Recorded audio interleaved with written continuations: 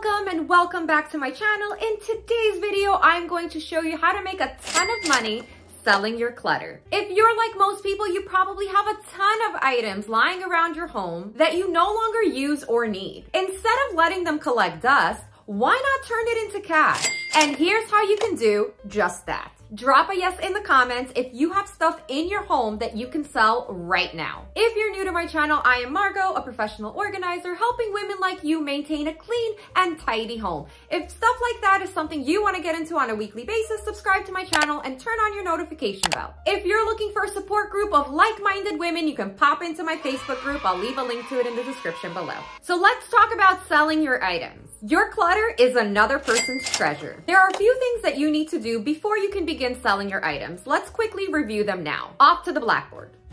Step one, gather your clutter. Start by making a list of items you no longer use or need, such as clothing that don't fit, books you've already read, electronics you no longer use, and anything else that you consider to be clutter. Step two, super important, sort and clean your stuff. Sort your items into categories and decide what to keep, sell, donate, or throw away. If you've already done that, you can skip this step. Clean the items that you want to sell to make them more appealing for buyers. Step three, determine the value of your clutter. You can do this by looking at similar websites such as eBay or Amazon or Facebook Marketplace. This will give you a good idea of what you can sell your items for. If you're looking to declutter your entire home so you can isolate what items you actually want to sell, you can check out this quick tutorial here. Now on to making the big bucks. I have sold a lot of items over the years and have made a ton of money. There are several options for selling your clutter and there are pros and cons to each one. Here are some of the most popular platforms.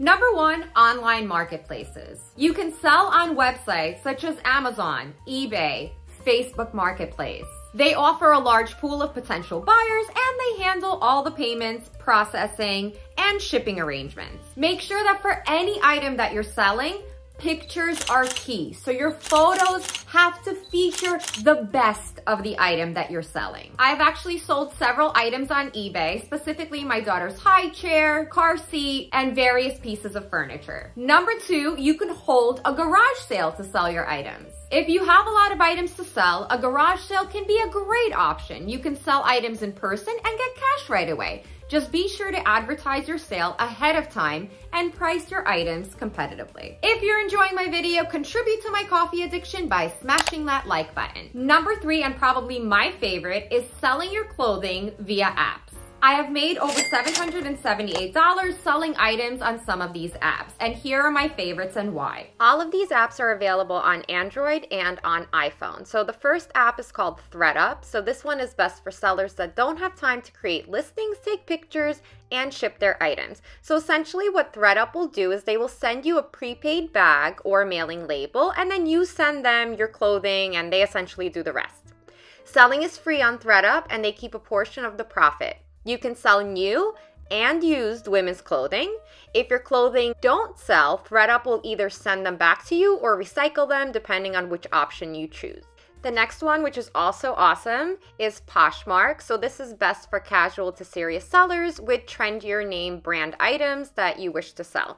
So to sell on Poshmark, essentially they will send you a prepaid shipping label and then you pack and track your package as it goes off to the purchaser. At the time of filming this video, for sales under $15, Poshmark takes a flat commission of $2.95 and for sales over 15 bucks, Poshmark will take a 20% commission. Next up, we have Mercari. So this is best for casual to serious sellers that have everyday clothing to sell.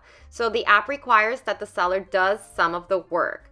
You'll need to take your own photos, write descriptions, and set the price.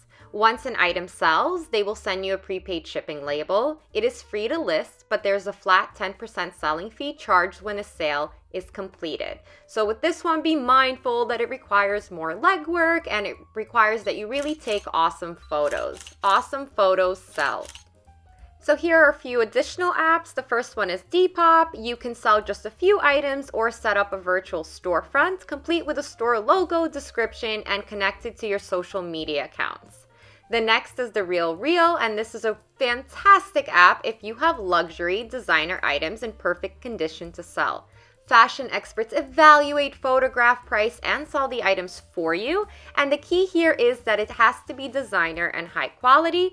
And finally, you have Tradesy. With this app, you take a photo of the item, you upload it to their app, and once it sells, you can ship it to the buyer. I love this because selling your old clothing online has never been easier. If your closet is an eyesore, I have an entire course taking you from cluttered chaos to neat and organized for just 47 bucks. I'll leave a link to it in the description below. Number four, you can sell your clutter via online sell and buy groups. There are many online buy-sell groups for specific items or communities, such as children's clothing or furniture.